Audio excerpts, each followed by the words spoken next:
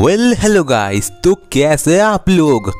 तो guys I know मैं बहुत दिनों के बाद कोई वीडियो अपलोड कर रहा हूँ बट इसके पीछे एक बहुत बड़ा रीज़न है, मैं आप लोगों को बाद में बताऊँगा। तो मैं एक छोटे से ब्रेक पे था कुछ एक महीने के लिए बट इन टाइम के दौरान मुझे जो न्यूज़ मिली, सचमुच मैं उस न्यूज़ को सुन के उसमें मुझे बहुत ही बुरा लगा सबसे पहले तो। एंड मैंने बिल्कुल भी एक्सपेक्ट बिल्कुल भी नहीं किया था। वो न्यूज़ अब तक आप लोगों को भी पता चल गया होगा कि पोकेमोन से अब ऐश जाने वाला है और उसकी जर्नी अब ख़त्म होने वाली है। चैम्पियन तो बन गया है बट हम सबको कहीं ना कहीं ये उम्मीद थी कि इसके बाद हमें ऐश की कुछ अलग स्टोरी या शायद हमें एक और जर्नीज देखने को मिल सकती है।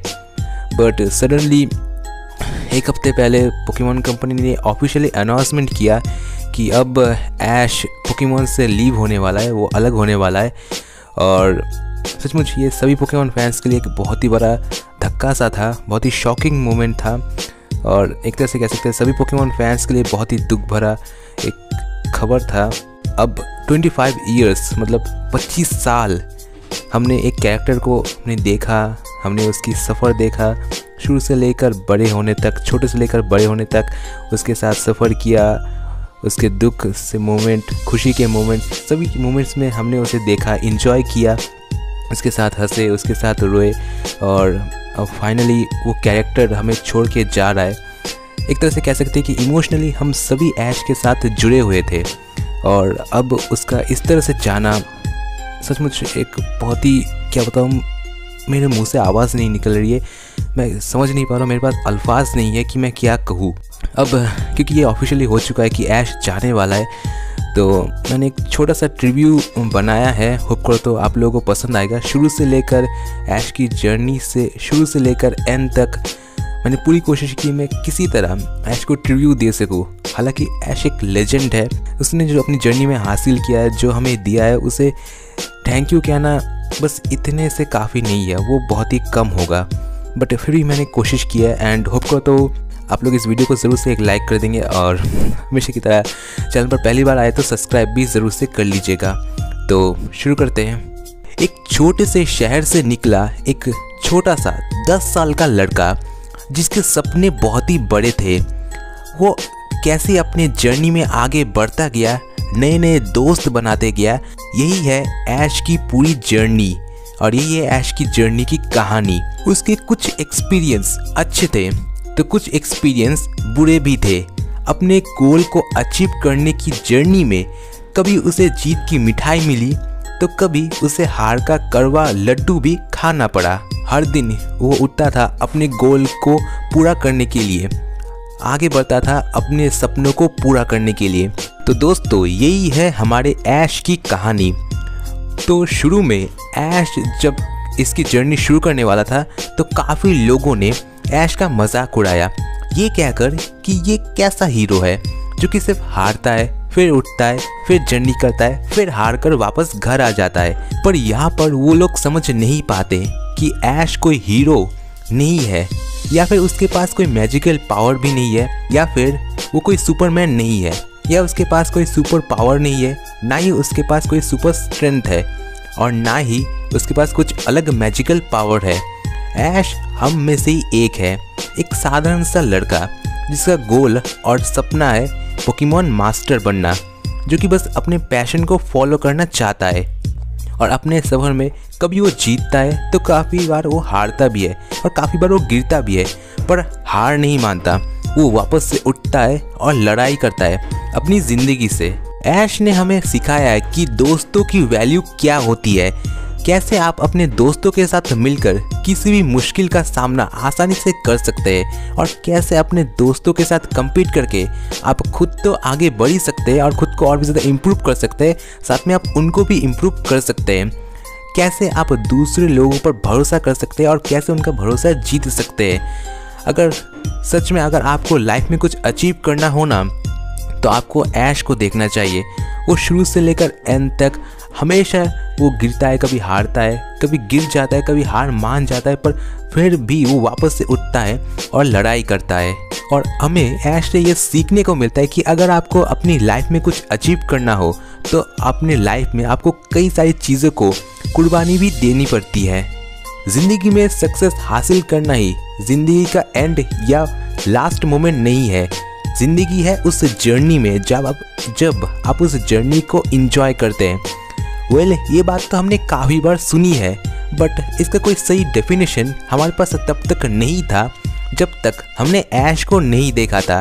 पर इसका असली मतलब हमें तब पता चला, जब हमने फाइनली ऐश के हाथों में उस चैंपियन ट्रॉफी को ऐश को उठाते हुए देखा, जिसका कि सारे पोकेमोन फैंस कई सालों से इंतज़ार कर रहे थे, और ऑलमोस्ट कह सकते कि 25 इयर्स मतलब 25 साल और 1200 एपिसोड के बाद फाइनली हमें जब वो लंबा, वो मोमेंट देखने को मिला, तब नो डाउट कि हमें बहुत ही ज़्यादा खुशी अंदर से मिली थी कि फाइनली जाकर ऐश चैंपियन बना और उसका सपना पूरा हुआ। इतने लंबे इंतज़ार के बाद, इतनी मुश्किल जर्नी का आखिरकार अंत हुआ।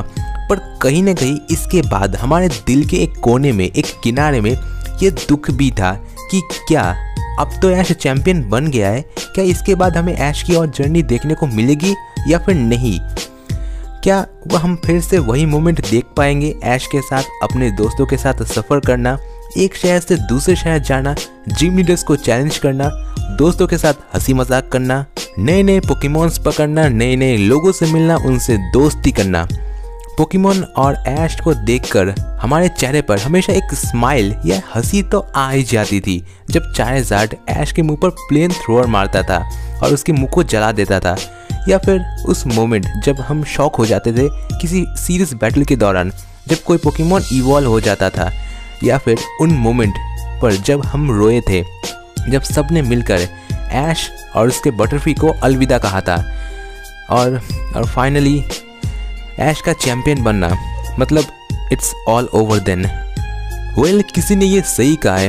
एक अच्छी स्टोरी वही होती है जिसे देखते वक्त या पढ़ते वक्त हमारे मन में ये ख्याल आता है कि इसके आगे क्या होने वाला है? क्या हीरो जीतेगा?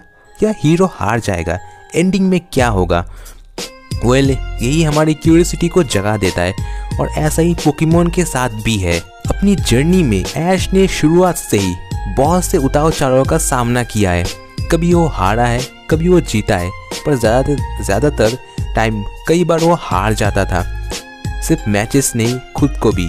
और ऑलमोस्ट वो पूरी तरह से हार जाने के बाद गिर भी जाता था पर उसने कभी हार नहीं मानी। वो वापस उठता था लड़ता था अपनी ज़िंदगी से अपने सपनों को पूरा करने के लिए। अपनी पूरी जर्नी में ऐश ने हमेशा ही हमें कुछ ना कुछ सिखाया है। कभी रुलाया है कभी इमोशनल किया है और कभी हमारे मुँह पर एक अच्छी सी स्माइल दिया है। वेल well, कुछ लोग कहेंगे कि इसमें ऐसा क्या है कि अगर ऐश जा भी रहा है तो इसमें इतना बात करने वाली क्या बात है? इस पूरे 25 साल के जर्नी में जिन्होंने भी पोकेमोन को देखा है, उन्होंने अपनी लाइफ में पोकेमोन को देखकर कुछ ना कुछ ज़रूर से सीख पाई है। कुछ लोगों ने सच्ची दोस्ती का मतलब समझा, कुछ ने यह समझा कि अपनी ज़िंदगी में कुछ भी हो जाए, कभी भी हार मत मानो। हालत चाहे कैसी भी हो, अपने हालतों के सामने घुटने मत देखो लड़ो उनसे और आखिर में जीत तुम्हारी ही होगी। बट गाइस ऐश के साथ हमारी सिर्फ़ मेमोरीज ही नहीं है। उसके साथ हमारी बचपन है, उसका सफ़र है, उसका रोना, हंसना। अल्टीमेटली मैं कह सकता हूँ कि हम सब ऐश के साथ इमोशनली कनेक्टेड है और हमारा एक कनेक्शन ऐश के साथ है, जो कि भले ही ऐश जर्नीस में ना रहे जर्नी ना करे, फिर भी वो जो कनेक्शन है वो कभी नहीं टूटने वाला। अब ऐश जा रहा है, पर उसके कुछ ऐसे लंबे हैं जो कि हम कभी नहीं भूल सकते। वो कैटपी को पकड़ना चार मिलियन का विकसित होना, इन्फरनेप का गुस्सा, ग्रीनिजा की समझदारी और अपने पीकेचू के साथ वो मीठी सी मेमोरीज ये पल, ये मेमोरीज हमेशा हमारे साथ जुड़ी रहेगी। Ash as a part of a journey and this is our life तो गाइज़ ये एंड है हमारी वीडियो का आज की और ऐश की जर्नी का भी और पूरे पोकेमोन की कंपनी आई थिंक 13 जनवरी को ऐश की फाइनल ट्रिब्यूज के लिए एक 11 एपिसोड का एक पूरी जर्नीज एक सीरीज़ अपलोड करने वाली है एपिसोड दिखाने वाली है, जिसमें हम ऐश को देखेंगे और उसकी पिकचू को देखेंगे। और यहीं से पोकेमोन जर्नीस यानी कि ऐश की जर्नी का एंड होगा। इसके बाद दो और नए कैरेक्टर आने वाले जो कि ऐश को रिप्लेस करेंगे। पता नहीं मैं क्या कहूँ but this is end but जैसा ऐश ने हमेशा कहा है कि वो कभी ऐश ने हमेशा हमें सिखाया है कि कभी हारो मत, कभी हार भी जाओ तो गिरो मत, उठो, हमेशा लड़ो अपनी ज़िंदगी से तो हम वैसा ही करेंगे। और ऐश हमारे साथ हमेशा रहेगा। And this is not a end it's just beginning well guys यही थी वीडियो। होप करता आप लोगों को वीडियो ज़रूर से पसंद आई होगी। एंड गाइस पसंद आए तो वीडियो को लाइक कर दीजिए, चैनल पर पहली बार आए तो सब्सक्राइब कर लीजिए। तो मिलते किसी नेक्स्ट एंड ऐसी औसम वाली वीडियो में, तब तक के लिए नमस्ते, खुदा हाफिज, सागर, प्रणाम।